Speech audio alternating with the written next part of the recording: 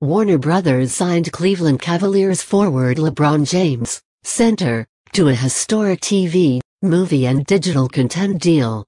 Warner Brothers announced that it signed the 30-year-old James and his company, SpringHill Entertainment, to a historic first-look deal spanning TV, film and original digital content.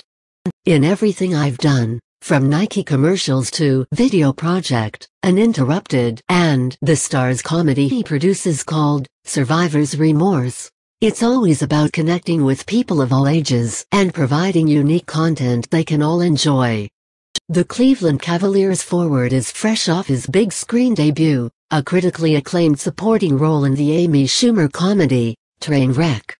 But James' reach goes far beyond the basketball rim. SpringHill Entertainment, created by James and his business partner Maverick Carter, has already been developing its own slate of content, including the Disney XD series, Becoming, and the aforementioned Uninterrupted.